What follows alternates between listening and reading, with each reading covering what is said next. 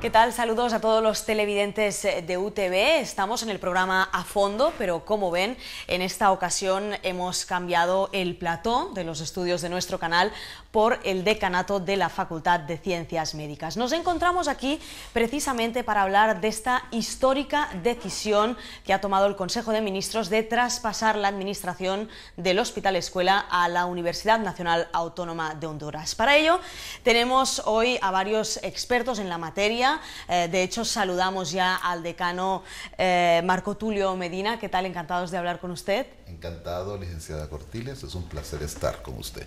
También contamos con la presencia del doctor Said Mejía. Él es eh, jefe del Departamento de Cirugía del Hospital Escuela. ¿Qué tal? Buenos días, licenciada Cortiles.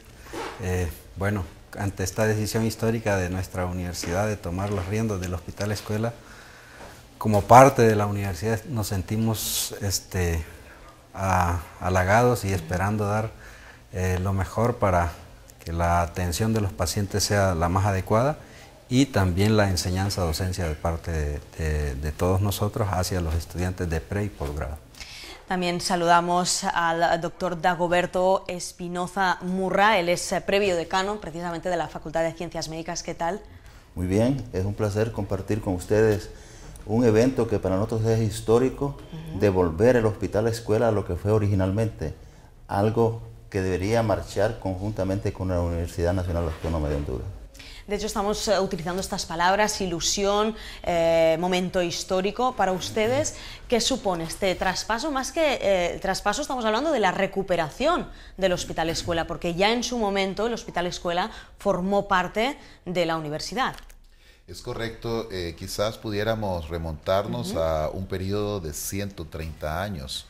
Eh, me refiero al hecho de que Ramón Rosa en el año de 1882, al fundar eh, la Facultad de Medicina, Cirugía y Farmacia de aquel tiempo, construyó simultáneamente ese mismo año de 1882 el Hospital Universitario, un hospital general de la, del país y de esta ciudad. Fue en el año de 1964 cuando el decano de la Facultad eh, de Ciencias Médicas, el doctor Enrique Aguilar Paz, empezó a planificar la construcción del hospital universitario. Y en el, en el año de 1968, el 9 de agosto, eh, tanto el rector eh, Peraza, el rector Quesada, junto con el ministro Peraza, firmaron el convenio de creación del Hospital Escuela en la Universidad Nacional Autónoma de Honduras, así se lee textualmente el documento, y que la administración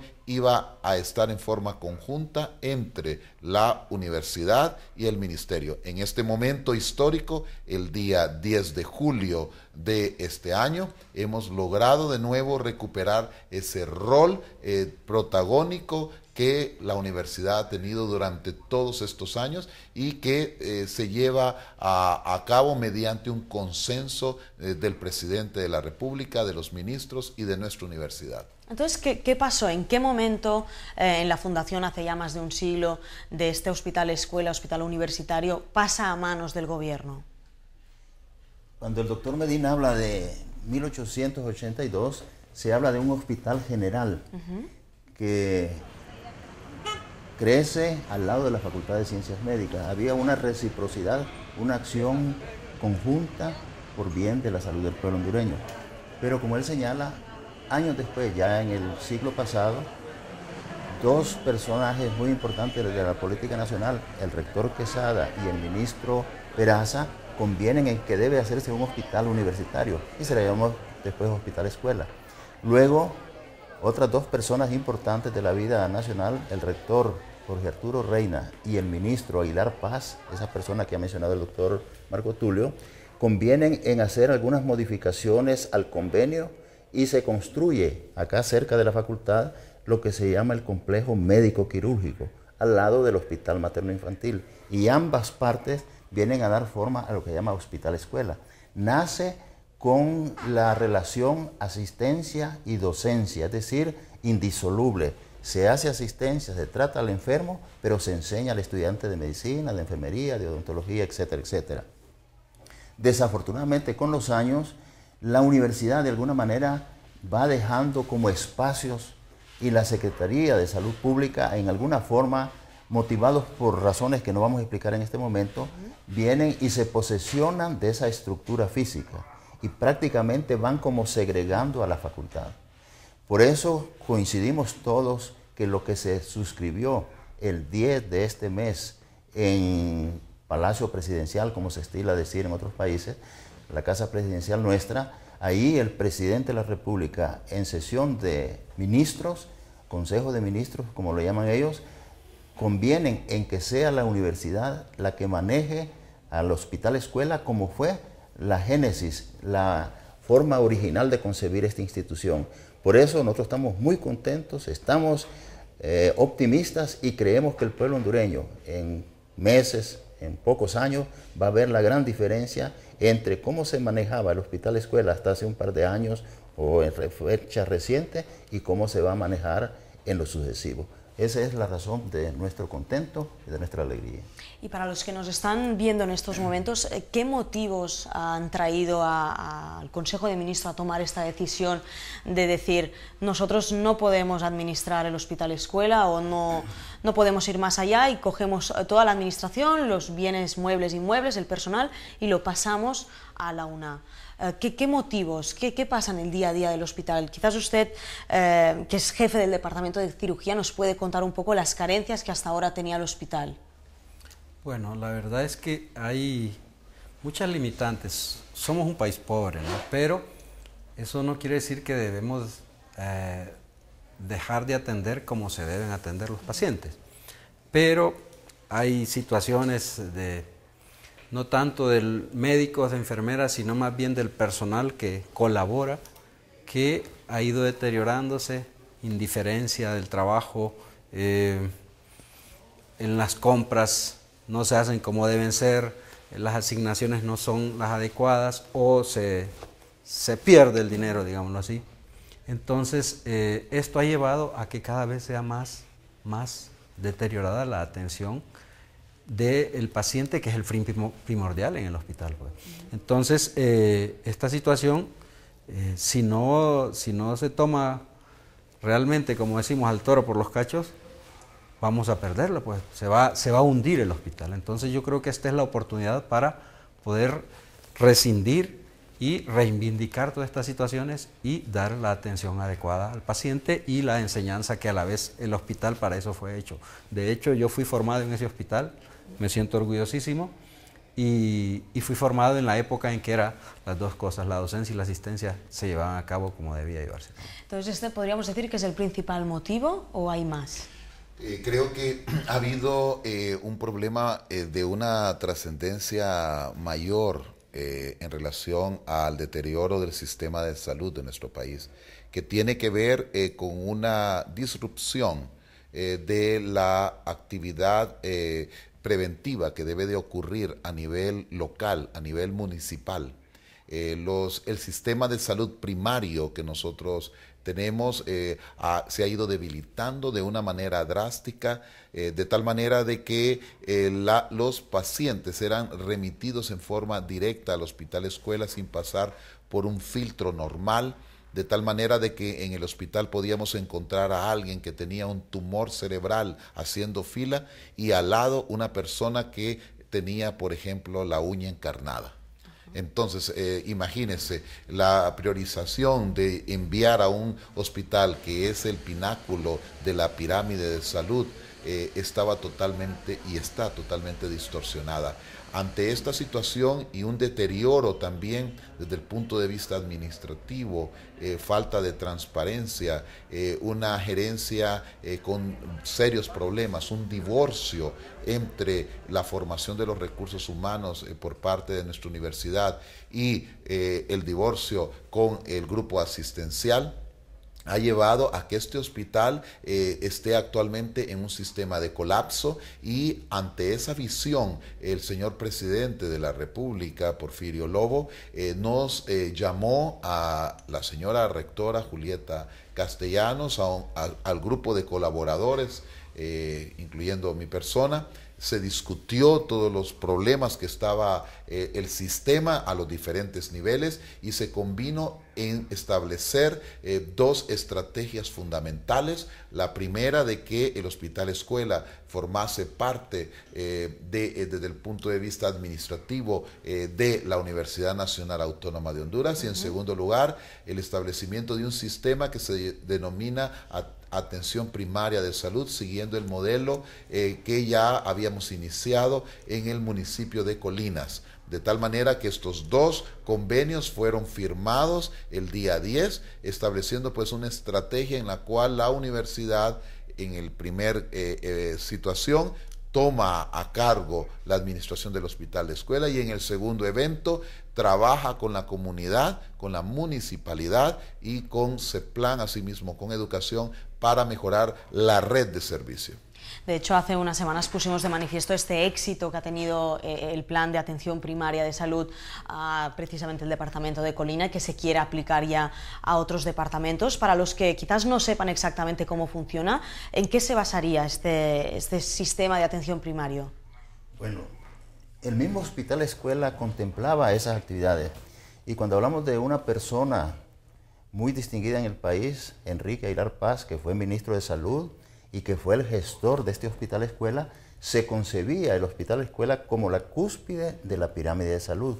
Cuando ponía el ejemplo del doctor Medina, se suponía que los pacientes muy de una atención muy compleja vendrían al hospital escuela, pero que lo otro sería atendido en el municipio, en la aldea, en el caserío. Y a eso se refería cuando el doctor Aguilar Paz habló de un vuelco de la medicina. Nosotros nos formamos en una forma intrahospitalaria combata, eh, un montón de condiciones que se estila mucho en los hospitales. Pero él decía, hay que ir a la comunidad y se creó un departamento de medicina preventiva. Todo eso ha ido evolucionando y ahora se habla de atención primaria. Colinas es un municipio de un departamento muy bonito de Honduras, Santa Bárbara, y ahí, por suerte, diríamos nosotros, un alcalde toma conciencia de la necesidad de que ya la medicina no puede ser de que el paciente se desplace desde una comunidad muy pequeña hasta Tegucigalpa, que es la capital, sino que más bien el médico esté en la proximidad de los hogares, como se ve en otros países. Eh, hay muchos modelos, se habla de Canadá, de Cuba, de algunos países de Centroamérica como Costa Rica y en Sudamérica como Uruguay y Argentina, donde hay acceso al médico en una forma tal que no se llegue a la enfermedad, porque uno de los pilares fundamentales de la salud integral es la promoción de la salud y la prevención de la enfermedad. Y eso es justamente lo que se va a lograr con ese modelo que ojalá todos los municipios de Honduras llegaran a tener el grado de conciencia que tiene Colinas como para que la salud de este pueblo mejore en una proporción considerable.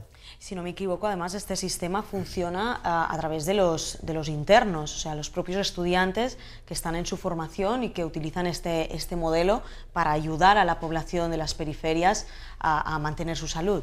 Eh, básicamente no son tanto los internos, sino que son los médicos en servicio social. en nuestro plan de estudio está constituido por ocho años de formación académica dentro de los cuales el octavo año, a partir de 1954, eh, con el acuerdo eh, de la entonces presidente Julio Lozano Díaz, estableció un servicio social que permitiera que las comunidades contasen con un médico en aquella época en la cual el recurso médico era bastante limitado.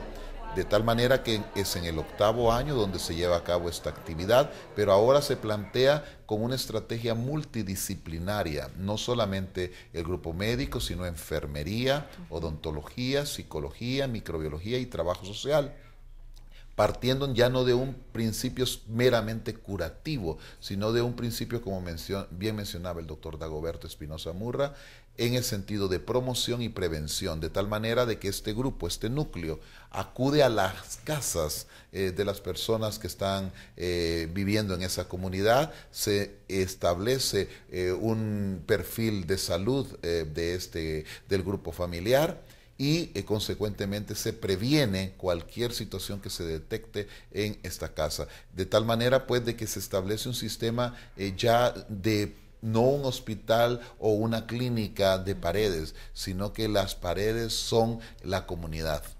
Claro, la atención más eh, personal, ¿no? Personal y luego bajo el principio de atención primaria eh, sabemos de que la prevención la podemos llevar a cabo a varios niveles y efectivamente existe la prevención primaria, eh, pero existe también la prevención secundaria. Imaginémonos a alguien que ha tenido un infarto al miocardio, eh, tendrá, eh, si sobrevive a ese infarto, hacer una prevención para evitar un segundo o la muerte. Eh, consecuentemente a eso se llama prevención secundaria. Esperemos que no, no, llegue esta, esta segunda atención, pobre hombre, al que estamos poniendo de ejemplo. Exacto, pero es tan común, recordemos que es una de las tres primeras causas de muerte en nuestro país. Consecuentemente, el acudir a la comunidad evita de que el sistema se sature y además se garantiza una atención eh, con calidad y el hospital escuela se convierte en un centro curativo en el cual también se puede hacer prevención pero es una prevención de otro nivel, como el que estamos mencionando. ¿Y cómo se lo han tomado? Dígame. De esto también es importante establecer que si el médico está en la comunidad, pacientes que ameritan ser remitidos al hospital, van a ser remitidos rápidamente y no van a pasar un montón de, de trabas, sino que si necesita una atención especializada, va a venir directamente al hospital. Entonces esto eh, obviamente es un, beneficio para, la comunidad. Y obviamente si esto se lograra en todo el país, pues sería un beneficio para, para todos los hondureños este en cuanto a la salud que es uno ya de los principales retos, una de las metas que se pone la UNA eh, cogiendo la administración, es decir, desarrollar estos centros primarios de salud en las distintas comunidades para eh, dejar de saturar el sistema del hospital escuela.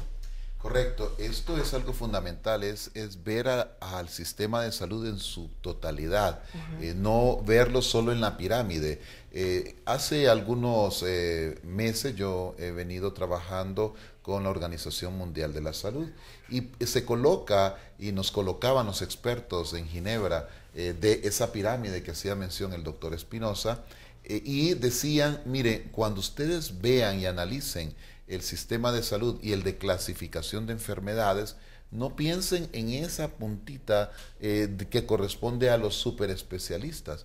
Piensen en toda la base que corresponde al sistema de salud primario, de tal manera que una zona remota de Honduras en la Mosquitia, como eh, en una ciudad ya desarrollada de nuestro país, puedan ser evaluados de una manera similar, de una manera eh, apropiada, bien coordinada. No hay que pensar solo en ese segmento. No obstante, eh, es importante también desarrollarlo, desarrollar esa, esa cúspide que es el hospital escuela en nuestro país con el objeto de una adecuada atención eh, de los problemas ya de más difícil manejo. Antes le quería preguntar, y también a ustedes, eh, ¿cómo se lo han tomado los estudiantes de, medicina y de enfermería esta noticia que supongo que les ha pillado un poco por sorpresa? Ayer tuvimos una reunión en el auditorio de esta facultad. Estuvo la señora rectora, el señor decano, otros personeros. Había estudiantes de diferentes cursos y ellos expresaron su satisfacción porque si algo ha pasado en el hospital escuela es que en los últimos años, no sabemos las motivaciones, ha habido como un relegamiento para los estudiantes de medicina de nuestra facultad. Ellos se han sentido que no han tenido el espacio como se concebía anteriormente para que ellos participaran activamente en la atención de los enfermos, en la supervisión de muchas salas y ahora lo sienten como que la universidad va a tomar las riendas de esa institución y ellos van a ser parte activa en ese proceso. Yo percibí en residentes, en estudiantes de último año, un grado de alegría que yo comparto. Igualmente estuvimos en esa reunión y hemos consultado también en los estudiantes que tenemos en los niveles de quinto y sexto año y este, esto va a ser un beneficio también porque o sea, lo que el doctor decía de relegar al estudiante, creo que eso se va a retomar para este, su formación y que sean, sean los mejores y que nos vayan a dar una atención adecuada posteriormente. porque estamos hablando de esta situación del traspaso de la administración del Hospital Escuela La UNA. Ah, ¿En un futuro está previsto quizás que pase lo mismo en otros departamentos del país? Bien, esa situación todavía no ha sido determinada. Eh, lo que sí está claro debido a la naturaleza universitaria del Hospital Escuela eh, es un paso normal, es, retomar la historia, el hilo de la historia que se fue perdiendo en el camino, eh, eh, de tal manera de que todavía eso no, no, no, ha sido considerado. Lo que sí está claramente considerado es el hecho del manejo a nivel nacional de, esta, de este sistema de atención primaria de salud en el cual la Facultad de Ciencias Médicas va a trabajar fuertemente en vista de que el manejo debe de ser también manejo de salud pública. Eh, el manejo de nuestra facultad está dirigido también a la formación del más alto nivel de nuestro recurso humano. Consecuentemente, estamos centrados en, ese, en esos objetivos simultáneamente, al mejorar el sistema de salud, mejoramos simultáneamente el modelo educativo de formación, no solamente médico, de enfermería, porque esta facultad es una facultad que incluye la carrera de enfermería, la nueva carrera de nutrición, odontología, en el caso de la Facultad de Odontología, Química y Farmacia, Microbiología, Trabajo Social, entre otras. De hecho, es muy importante lo que está diciendo el doctor Tulio, ah, Marco Tulio, es la, oportunidad no solo de mejorar la calidad de la enseñanza, sino también de luego devolverle a la sociedad este favor o este gran privilegio que le ha dado a los estudiantes de poder estudiar en el hospital escuela. Sí, estamos conscientes de eso. Honduras es uno de los países que invierte bastante en el campo de la educación. Quien habla en este momento no sería médico, si no hubiéramos tenido la gran oportunidad de nuestra universidad gratuita. Es un pago simbólico el que hacemos. Yo he estado en algunos países, eh, en universidades de Estados Unidos, y sé cuánto paga un estudiante para estudiar en una universidad pública de Estados Unidos, no digamos las privadas. Y cuando hablamos con los estudiantes les decimos que debemos sentirnos agradecidos con el pueblo hondureño, que con sus contribuciones al erario eh, viene en una ayuda para nosotros en nuestra formación. ¿Cuál es la forma de hacer un poco de reciprocidad? Pues seamos mejores profesionales. Desde la vida de estudiantil, comportémonos con la gente que llega a los hospitales de una forma que en medicina se llama calidez humana, que de alguna manera en otros países lo percibimos y que nosotros estamos cultivando y estamos esmerándonos para que nuestros estudiantes también tengan esa condición. Creo que se hablaba de calidad, de calidez y de equidad. Es decir, son condiciones en que nosotros tenemos que concebir la medicina y no solo por la formación ética, sino para retribuir algo al pueblo que nos ha formado. Eh, yo repito, en lo personal, habemos muchos profesionales que nos ha ido bien en la vida, eh, bien me refiero a los logros académicos o de cualquier naturaleza, pero que se lo debemos en gran medida a la bondad, a la apertura de la universidad que no nos puso ningún valladar de tipo financiero. Y en ese sentido, nosotros hablamos con nuestros estudiantes para que de alguna manera haya, como dije antes, una reciprocidad para el pueblo hondureño que de alguna manera viene a solicitar esos servicios. No sé si ustedes también han podido hablar eh, con población en general y han tomado esta noticia como algo positivo o no.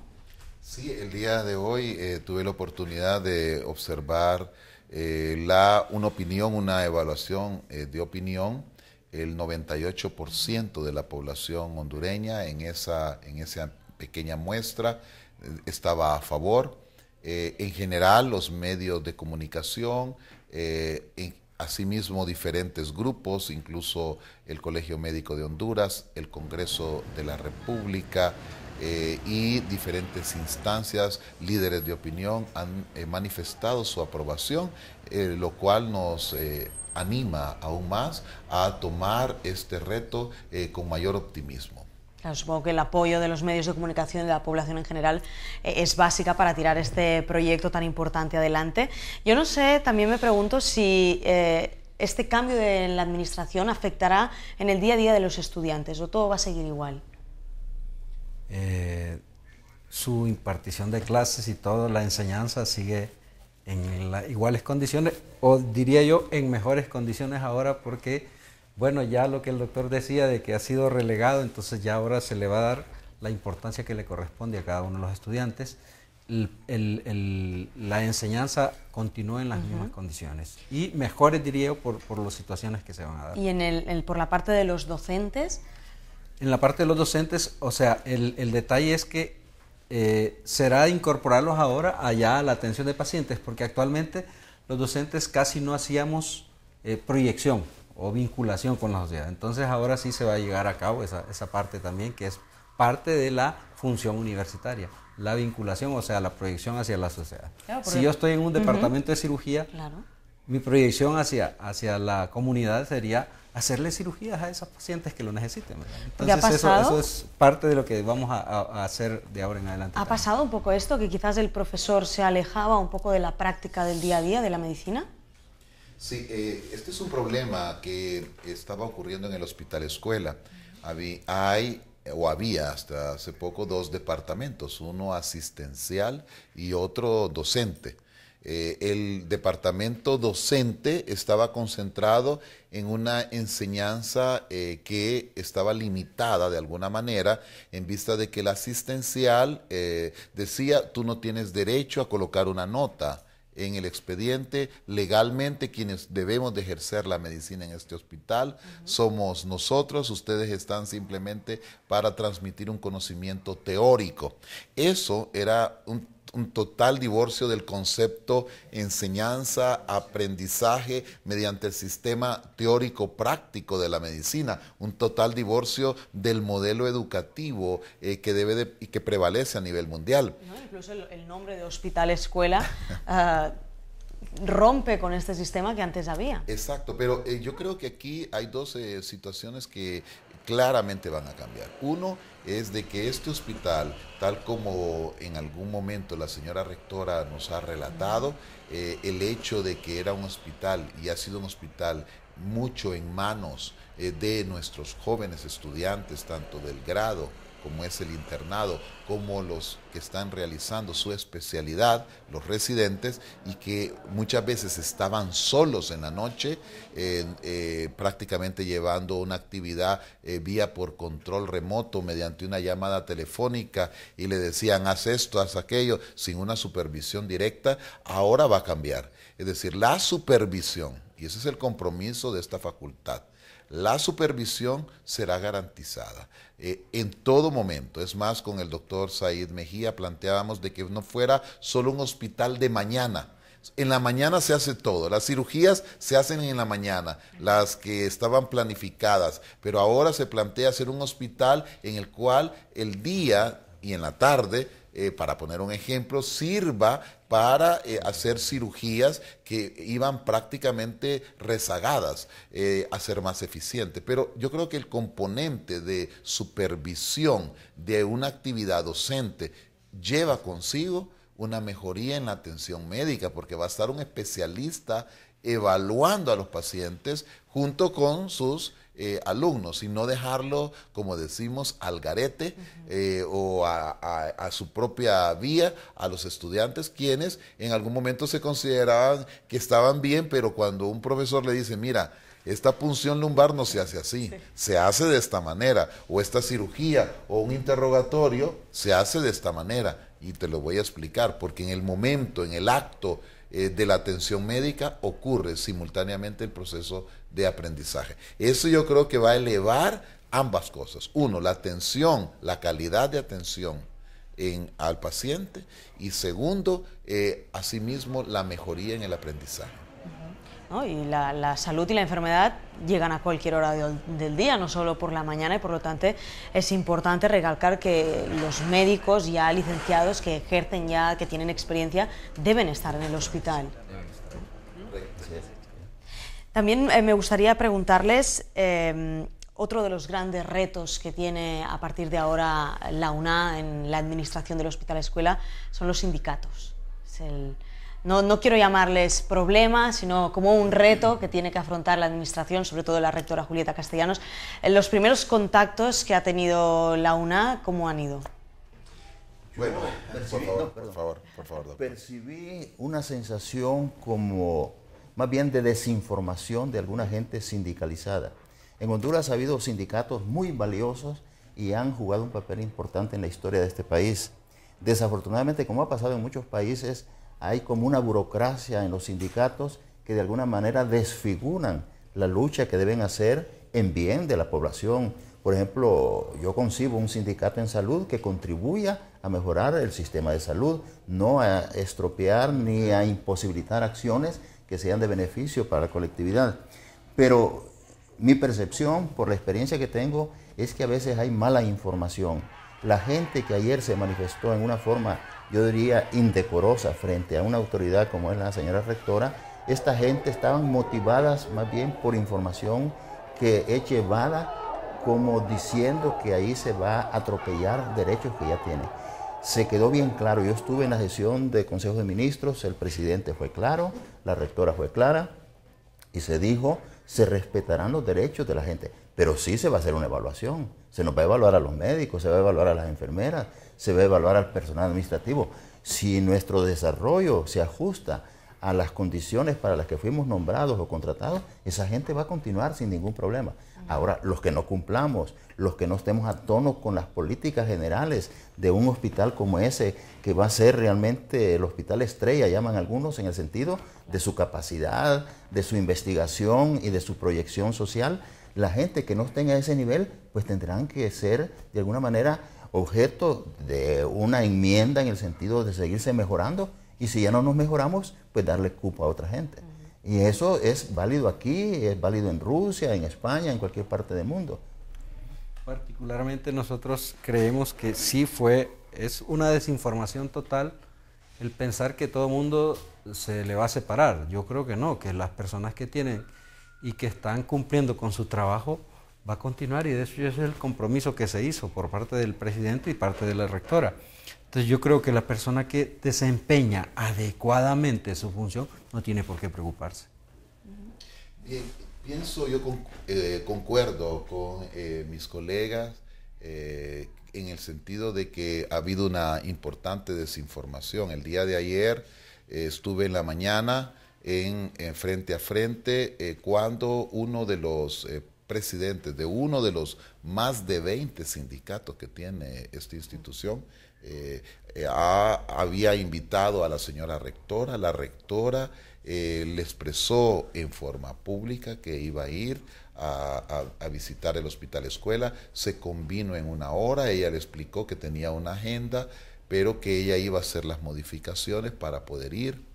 Yo posteriormente la estuve esperando, me adelanté al auditorio eh, del Hospital Escuela, ahí se encontraba una cantidad enorme de personas eh, y el, eh, dirigentes sindicales empezaron a, a manifestar su desacuerdo y, en forma organizada manifestaban sus protestas.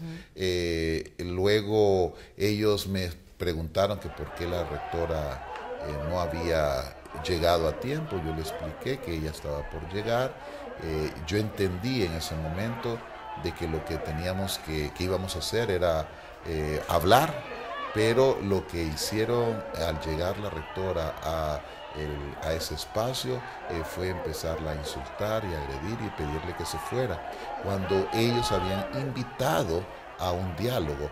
eso fue algo enormemente sorprendente. La rectora con un valor enorme entró al espacio, se dirigió a la parte de enfrente del auditorio, eh, continuaban los gritos de estas personas. Eh, cuando vieron que entró la señora rectora, eh, simplemente ellos empezaron a decir, nos vamos a retirar. Ella, de una manera valiente, expresó, se quedó unos minutos y luego salió igual por donde había entrado eh, y lo que yo pude observar pues fue realmente un ambiente eh, muy difícil, un ambiente complicado, un ambiente en el cual eh, las personas estaban totalmente, no, habían perdido el control de sí mismas. En cambio, la señora rectora, el absoluto control de su mente y sus emociones y sus objetivos.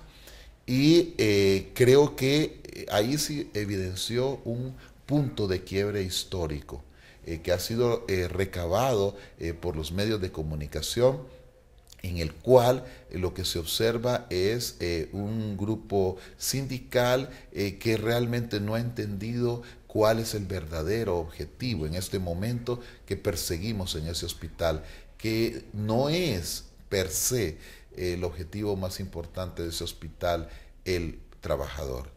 El objetivo más importante es el paciente.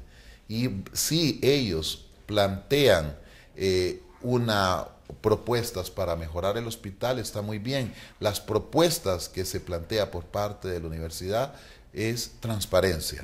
La propuesta es evitar la corrupción. La propuesta es de que todo mundo cumpla. La propuesta es de que la administración esté adecuada, que haya medicamentos, que los alimentos sean utilizados para los pacientes y no para otra persona, que los médicos y las enfermeras trabajen en su horario.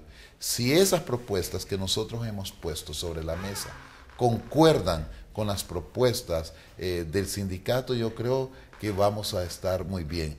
Ahora bien, si ellos tienen otra propuesta de la que nosotros estamos presentando, que nos los hagan saber para ver si hay un acuerdo o no.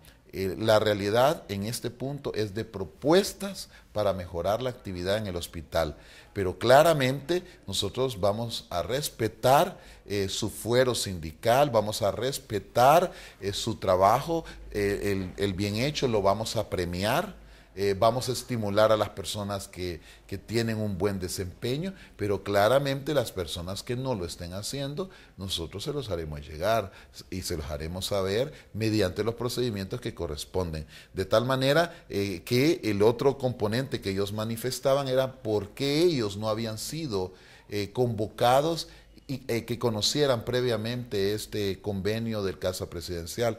Eh, yo quisiera tal vez plantearles a la teleaudiencia que el señor presidente de la República fue electo en este país para tomar decisiones.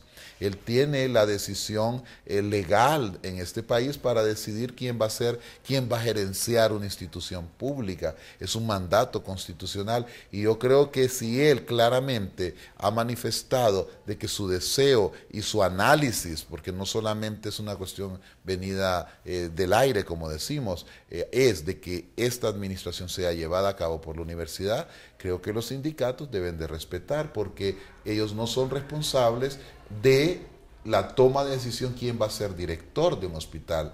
Ellos son responsables de preservar los derechos de los trabajadores. Entonces, consecuentemente, eh, a mi juicio es establecer pues de que hay un respeto y habrá un respeto hacia la estabilidad de ellos, pero que recordemos que el objetivo principal es el paciente y que sobre la mesa están planteadas las reglas del juego de ningún modo son justificables las uh, formas que tuvieron los sindicatos uh, ante la entrada de, de, la rectora Julieta Castellanos, pero sí que es cierto, como usted comentaba y también usted, doctor Espinoza, que hubo una desinformación mezclada con la sorpresa, supongo, de los sindicatos ante la situación y, por lo tanto, un consecuente miedo a lo que va a pasar a todo este personal que ahora mismo está en el hospital. Nosotros psicológicamente sabemos que siempre hay temor a los cambios, uh -huh. cambios pequeños, cambios grandes, eso lleva implícito como una sorpresa que va a suceder. Y especialmente hay como un mea culpa. Cuando nosotros sabemos que no estamos actuando correctamente, tenemos mayor temor a esos cambios, porque posiblemente se nos va a llamar a rendimiento de cuentas, es decir, se evalúa por resultados, esa es una política ya universal, ya no es lo que yo digo, sino lo que hago. Y en un hospital como el nuestro, Ahí sabemos, y eso estamos conscientes, hay médicos excelentes con gran entrega, enfermeras valiosas de muchos años de experiencia, pero también sabemos, y esto hay que decirlo y que quede constancia, yo me responsabilizo por estas palabras, ha sido un hospital donde ha habido un clientelismo político de diferentes gobiernos, de diferentes partidos. Han llevado al hospital a mucha gente afín a su partido y le dan como premio algún puesto en el hospital. Esa muchas veces es la gente que va a aplaudir a sus dirigentes o que va a protestar cuando hay gente que quiere cambiar esa situación. Yo me lo explico de esa manera y estoy seguro que mucha gente que ayer se manifestó en una forma, como dije antes, indecorosa frente a una autoridad que merece mucho respeto, esa gente estaba asusada. Esa es una expresión muy típica de nuestros políticos. Diciéndole, esas son las personas que nos van a modificar nuestra situación, esto y el otro, y aquella gente temerosa llegaron a esos extremos. Desde luego no se justifica de ninguna manera y estoy seguro que la universidad como institución, con sus personeros, tiene la capacidad para manejar esta situación y con las expresiones del presidente, donde hay un respaldo absoluto a la toma de decisiones de la universidad, yo creo que la gente va a entrar como en una espera y luego se van a contribuir.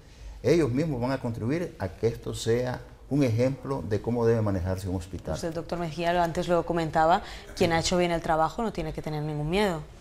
De hecho, eh, eso hemos comentado en el departamento de cirugía con los colegas que solo trabajan con el Estado, eh, en el sentido de que, bueno, los cambios se dan y no hay que, tenerle temor si nosotros estamos haciendo o desempeñando bien nuestra labor. Pues. Y nuestra labor ahí entonces en ese caso es atender bien a los pacientes y este, en el caso de ahora tiene que ser de parte de las dos áreas de dar una enseñanza adecuada también a las, a las personas que se están formando. Entonces yo creo que si, si una persona está desempeñando bien sus funciones, hoy hablaba con una, con una licenciada de enfermería que trabaja en el hospital, me dijo que ellas se habían reunido y que ellas consideraban que esto es algo bueno porque se puede rescatar mucho del hospital de eh, muchas situaciones que se dan y que ya ahora se toman como normales, que son totalmente eh, fuera, de, fuera de orden, pues, ¿verdad? Entonces, este, hay, hay, yo les digo, por ejemplo, pacientes que necesitan un clavo, pero que no se les opera si no compran el clavo. Un clavo para reducir una fractura.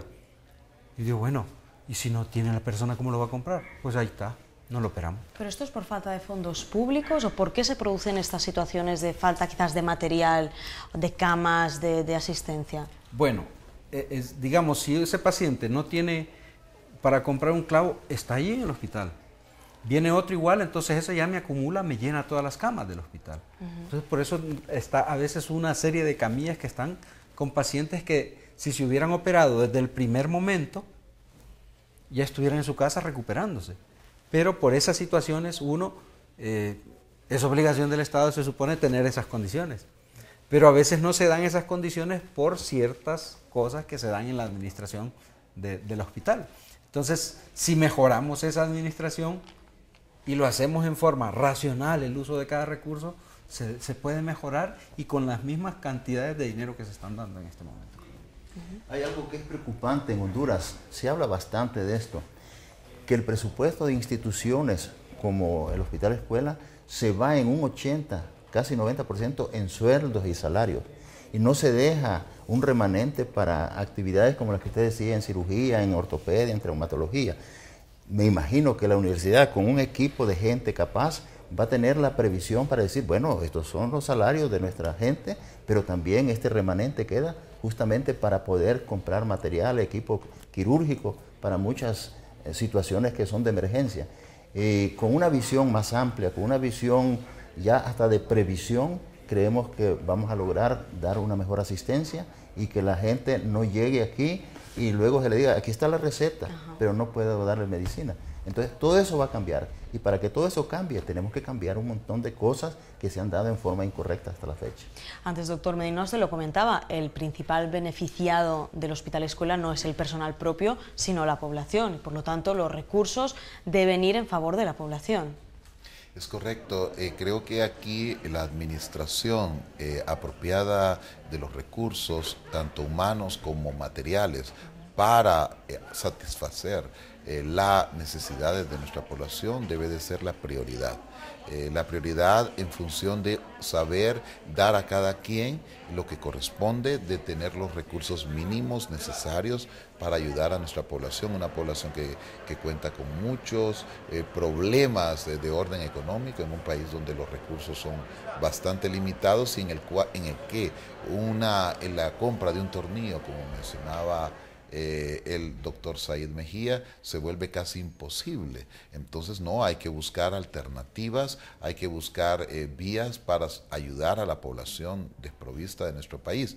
Creo que en este nivel la universidad ha tenido una experiencia, lecciones aprendidas. Eh, la universidad hasta hace poco no contaba con recursos porque no había, entre comillas. Pero cuando se empezó a evaluar dicen algunos de nuestros amigos administradores, las gavetas de los diferentes sectores donde estaba el presupuesto, se logró observar de que esas gavetas tenían dinero pero que no estaba siendo utilizado de una manera apropiada. Luego se empezó a manejar eh, con una reingeniería eh, financiera la universidad y actualmente se está invirtiendo mil millones de lempiras en infraestructura de nuestra universidad.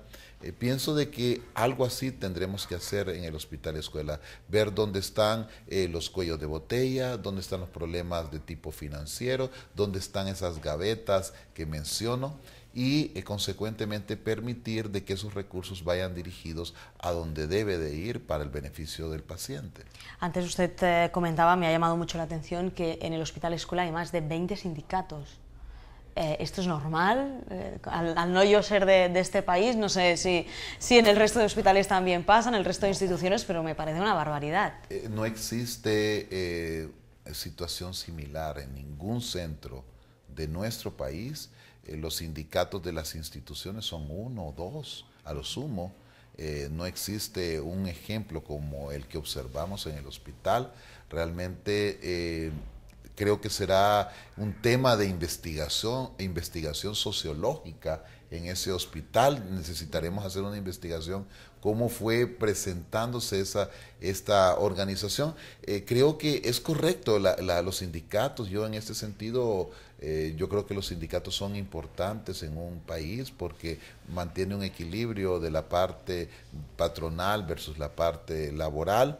Eh, pero, eh, como usted bien dice, tener tal diversidad de sindicatos en una institución de un tamaño tan limitado, porque son menos de 4 mil personas, debe de ser eh, analizada, ¿verdad? Para ver qué estrategias se pueden hacer. Pero sí, es una, es una igual a, cualquiera, es una sorpresa, por supuesto.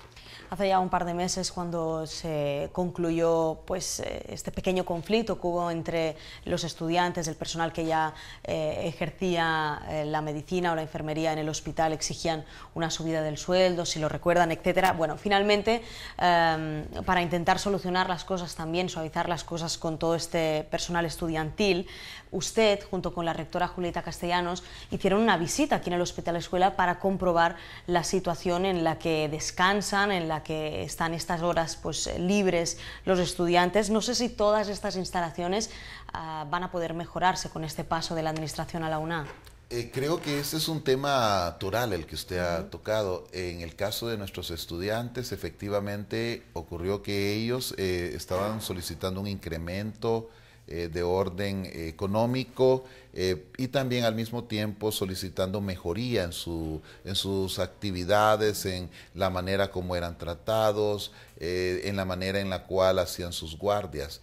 creo que aquí hubo un problema, un paradigma, yo diría, de la forma de protesta.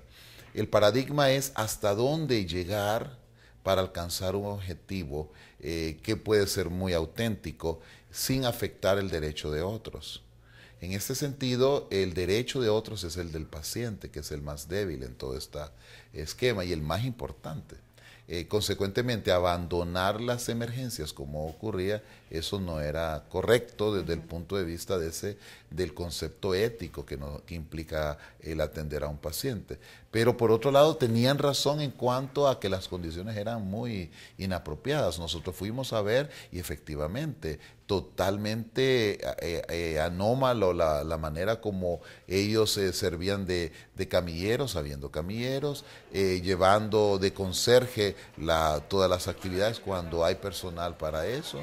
Es decir, eh, eso debe de ser mejorado y nosotros estamos eh, planteando eh, la construcción, en primer lugar, de espacios físicos donde puedan descansar, eh, establecer reglas, ya tenemos un reglamento de internos más eh, cuidadoso protegiendo sus eh, derechos, pero simultáneamente haciendo un refuerzo en la parte ética de ese paradigma de la protesta sin afectar el derecho que es un derecho humano del paciente de recibir una atención médica y no dejar y que no quede abandonado en su atención en un hospital. Estamos ya llegando a la recta final de este programa a fondo. Para acabar, me gustaría que cada uno de ustedes nos hiciera una conclusión o un poco de la reflexión de las aspiraciones y las ilusiones que se presentan ahora mismo para el Hospital Escuela para mejorar el sistema de, sanidad y salud pública. Bueno, eh, de mi parte yo diría que eh, qué bueno que ha sido la universidad eh, que ha tomado las riendas del hospital para mejorar la, la situación del mismo para mejorar la atención y para mejorar la educación. Yo decía en una entrevista que me hicieron en una emisora por ahí, de que realmente si se mejoraba la atención, independientemente de quién fuera la cabeza, pero se ha visto en el transcurso del tiempo que el ministerio no ha podido. Entonces, que si ahora esta es una gran oportunidad para poder la universidad demostrar que sí se puede y sí se puede a nivel público hacer estas, estas, estas enmiendas. Entonces creo que esta es una gran oportunidad para este, eh, cambiar la cara del hospital y que se dé una atención, como decíamos, eh, con calidez, calidad y equidad a los pacientes y una educación en igual sentido. Para mí es una oportunidad valiosa y a mí me llena de orgullo que sea la universidad la institución que ha tenido la credibilidad como para que el presidente diga ponemos en sus manos el manejo de este hospital. En medicina y en todas las carreras del área de la salud hay lo que llama integración docente asistencial. Y así nació este hospital escuela, para manejar la docencia y la asistencia en niveles de alta calidad. Desafortunadamente, como dijimos, ha venido un desmejoramiento del hospital escuela y yo estoy convencido que con este paso que ha dado el presidente de la República, creyendo que la universidad va a resolver estas cosas, el pueblo hondureño debe estar confiado. Y la gente que ayer se pronunció en forma negativa va a entrar en razón de que justamente ellos, con un cambio de actitud, teniendo confianza en los derroteros de esta institución, ellos van a ser partícipes de un nuevo hospital escuela del cual nos vamos a sentir orgullosos nosotros como profesionales y el pueblo agradecido porque vamos a mejorar la calidad de la asistencia. Doctor Medina, no sé si quiere añadir algo más. Bien, el lema de la universidad es Luz en Aspicio, eh, que quiere decir aspiro a la luz, y realmente creo que aspiramos mucho. Esa aspiración eh, debe de ser traducida en un esfuerzo en equipo, eh, que estamos lográndolo, asimismo con un ideal, en este caso, preservar, fomentar la salud del pueblo hondureño y asimismo mejorar la, el proceso educativo que tan importante es para la formación de recursos humanos de Honduras, quienes finalmente son los que tomarán la antorcha mientras nosotros ya eh, eh, seamos ancianos o ya no estemos eh, en, sobre la faz de este territorio, serán otros los que tomarán esa antorcha y tenemos que garantizar que quienes la tomen estén bien preparados.